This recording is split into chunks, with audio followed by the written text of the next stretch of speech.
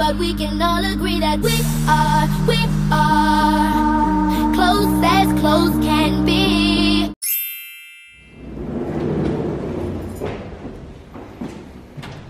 Игничку. Угу.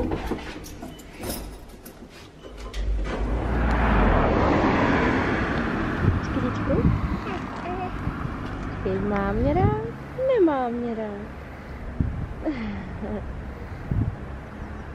Mám mě rád? Nemám mě rád. Mám mě rád? Nemám mě rád. Mám mě rád? Nemám mě rád. A kdo to je, Auri? Jo, ty si to ještě také našla. Mám mě rád. To je táta Auri? Looking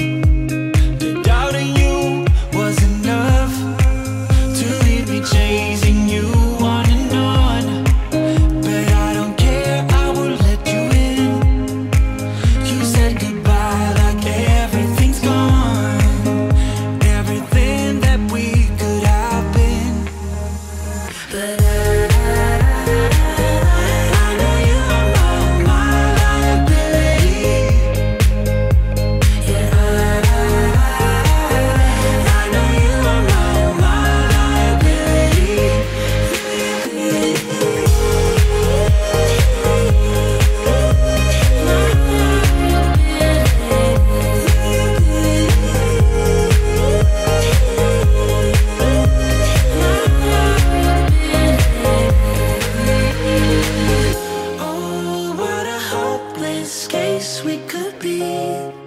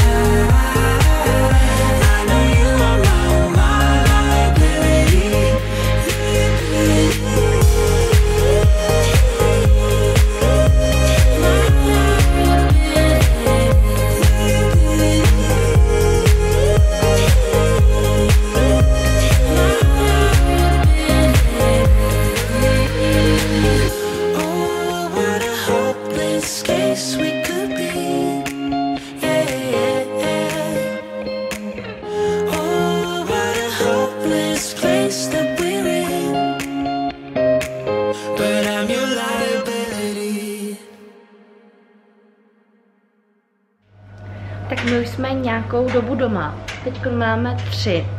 A přišli jsme podle mě tak v jednu. Možná, možná i o něco dřív. Aurinka si mi s tím dala odpolední spánek. A teď teda šel manžel uspat Maxu, protože nějaký to vůbec nejde. Takže se zavřeli vedle a zkouší to. No, ale co teď teda děláme my, je to, nebo co udělal manžel, ještě než, než šel uspat Maxinku. Tak, jsme přesunuli tu, uh, tu sušičku sem na to místo, jak jsem říkala. A hezky to tam jako lícuje.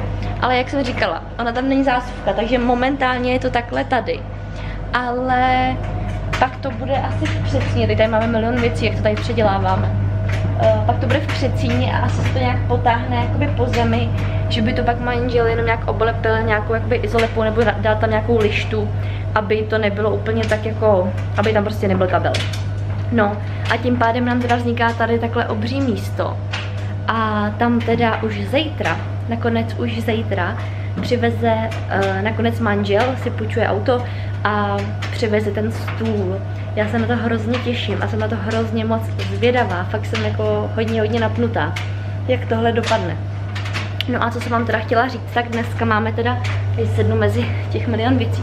Tady mám mimochodem ty věci letní a malé velikosti, co jsem včera probírala. A je toho teda fakt hodně. Takže to pak musím ještě, uh, musím ještě rozstřídit do těch dvou pytlů, že jo. Jedno mám jakoby, co, co je malý Maxince, to znamená jakoby pro budoucí děti. A jedno je, co je malý Auře.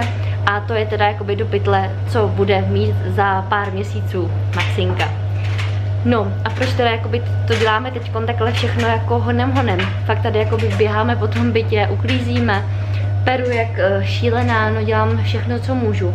Protože já nakonec zítra, zítra ráno jdu uh, na trhání toho zubu.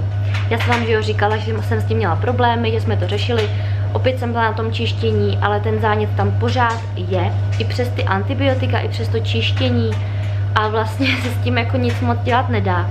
A já jsem uh, fakt jako hodně, hodně podob, podobným jakoby provedení jsem si už jakoby jednou prožívala asi tak před pěti, šesti lety jedno, jakoby fakt jako podobná věc s jedním jiným zubem a vlastně jsem do ní nastrkala ty asi 7-8 tisíc, nebo mamka v tu dobu ještě a vlastně taky jsem to měla furt záněty, pak se to najednou uklidnilo, tak mi to zaplnili jakože na pořád No jenom, že se pod tím vytvořil zase zánět a to už s tím nešlo nic dělat a ten zub musel ven. Takže já mám vlastně tady vytrženou šestku dole, ale jako ono to, že jo, není vidět tím, jak je to vzadu. Um, a to už mám teda jako hodně, jak říkám, hodně dlouho.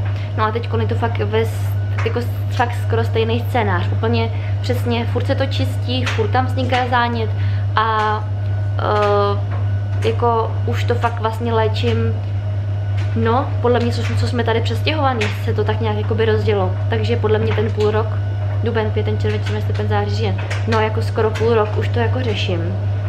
A už mě to jako hrozně nebaví. Nemůžu jako furt se dopovat práškama na bolest a nějakýma antibiotikama, s kterými stejně teda očividně nezabírají, protože paní zubařka už jako říkala, že ani jako moc nechápe, že mi to prostě tam ten zánět jako nezmizel, že tam furt je. Že je jakoby menší, ale že tam furt je. Furt mě ten zub prostě bolí. Takže zítra jde ven, no. Eh, nebudu říkat, že se nebojím. Já jako ze zubařů celkově už strach nemám, tím jak jsem si jako prožila už u těch zubařů fakt hodně, já mám jako problémový zuby. My to máme tak nějak jako v rodině prostě. Takže jsem si zažila fakt hodně věcí u těch zubařů a nějak už se jako toho nebojím, ale jediný teda čeho se bojím je fakt trhání zubů. Já jsem právě u tohohle, co jsem říkala, tak jak tam byl ten zánět, tak mě nepomohla injekce minule právě a trhali mi ho jako víceméně zaživa a to já jsem tam brečela, já jsem byla spocená, zubař se tam potil, já jsem tam mlátila do těch, uh, těch madel, no. To bylo jako fakt hrozný, to bylo hrozný. Ale tak říkám si, že tady minule, když mi to jako dělala, uh, tak mi tam dávala právě injekci a zabralo to jako krásně. A není to právě, že jo, zadělaný, takže věřím, že to bude v pořádku, že injekce zabere, že to nebude uh, nějak moc bolet. Ale právě jdu tam teda zítra ráno a tak nějak si jako myslím a po zkušenostech jak mých, tak i vás, co jsme to právě řešili na Instagramu, tak jako nejspíš ten pátek, sobota a asi i neděle budu jako tak trošičku mimo provoz. A pro změnu uh, budu teda asi v ložnici uh, trpět tiše, možná i hlasitě, kdo ví, jak to dopadne. Budu ledovat a budu uh, opět jíst nějaký prášky na bolest, abych to zvládla. Ale pevně věřím, už teď fakt pevně věřím, že tohle je konec těch mých nemocí, nebo jak to nazvat, prostě zdravotních problémů, protože už to trvá, já jsem to právě říkala včera na Instagramu, já jsem z toho už fakt jako úplně vyřízená. Uh, už to trvá fakt vlastně celý srpen a teď půlka září, prostě měsíc a půl jsem prostě v takovýchhle, v takovýchhle stavech a vůbec se nedivím, že už z toho mám prostě fakt jako depky, já jsem úplně z toho vyřízená. Pak mám chvíli, kdy prostě brečím, uh, protože prostě úplně takovýhle léto jsem si jako nepředstavovala. Úplně jsem fakt jako KO, no. Už, už je to prostě dlouhý a už prostě chci klid a chci si užívat holky a chci si užívat nový byteček a pořádně prostě dělat to všechno, co jsem prostě plánovala tady po přestěhování. Teď chceme začít chodit na ty kroužky, no prostě už chci začít normálně fungovat a zaši, za, zase zajet nějaký jakoby ty rutiny, režimy, protože já to fakt potřebuju a myslím si, že holkám to taky jako hodně chybí. To, jak je to prostě teď takový různý, tak uh, vidím to i na nich, že nejsou úplně nejspokojenější. No, co, ma, co miláčku? Pojď ke mně. Tak dneska jsme byli právě v tom koutku, tak Aurinka se tam zase vyblbla, viď? Jsme byli na papání. Jo. Ano. Máš modelínu? Chceš si modelovat? Tak si začni ke stolečku, jo? Já jsem ti to tam uklidila, no. Chceš to otevřít? A jo. A jakou žlutou, jo? Žlutá. Jo. Uh, tak. Můžete modelovat, paní. Jinak to jsou ty, ty, ty, ty modelíny z toho Pepka, jak jsem ukazovala. Akorát teda, oni tam byl věc v tom balení, akorát uh, včera jsme zelenou zapomněli zavřít, takže úplně vyschla, takže jsme ji dneska vyhodili. Byť. Tak modeluješ? Tak jo. No takže jenom abych to dopověděla, tak prostě jsem z toho KO a už mě nebaví být jako negativní, teď víte, jak já, já jsem ráda pozitivní, je to pro mě přirozený, ale i tohle to, já myslím, že každýho by to trošku tak jako dovedlo do trošku negativních, uh, negativní sféry, no. No tak jo. Uh, takže uh, v tuhle tu chvíli, když vy na to koukáte, tak já nejspíš už ležím tam v posteli, mám to za sebou, leduju to a doufejme a věřme tomu, že to nebolí tak hrozně moc, jak se toho bojím. A uh, přes víkend teda bychom chtěli natáčet vlog, nebo spíš asi manžel, protože já typu, že nebudu úplně jako OK. A určitě vám v tom vlogu ukážeme, jak tady nakonec teda vypadá ten stůl, já se na to hrozně těším, prostě se na to těším, že budeme jíst jako lidi. No a celkově i jak jsme to tady vymysleli. No a to bude asi všechno pro dnešní vlog. Ano, Máčku, no to je krásný. Ano. Takže tady to se jde modelovat. Auri. Je ahoj. Řekneš ahoj? Řekni ahoj. Máš modelínu? Jo. No takže tady chci modelovat, já tady jdu pokračovat v úklidu a vedle slyším furt jenom pláč, takže tam to bude ještě na díl. No, tak jo. Takže já doufám, že se vám dnešní video líbilo, budu samozřejmě ráda za like, za odběr, pokud ještě neodebíráte, myslete na mě a těším se na vás, nebo manžel, nebo spolu uvidíme u dalšího videa. Mějte se krásně a ahoj.